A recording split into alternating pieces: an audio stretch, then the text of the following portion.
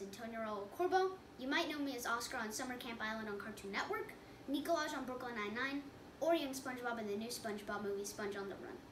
I really need your guys' help with this math problem. Which quantity is bigger? Seven ones plus two tens? Or three tens plus four ones? Remember to show your work. Together, we can make learning fun.